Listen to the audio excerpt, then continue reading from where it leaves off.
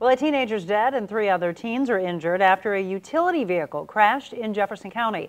That happened yesterday on Engledow Road near Blackwell. The Highway Patrol says a 17-year-old Hillsboro boy was driving a UTV with two 13-year-olds and a 16-year-old. The driver slid off the road when he lost control and slammed into a tree. One of the 13-year-olds died at the scene.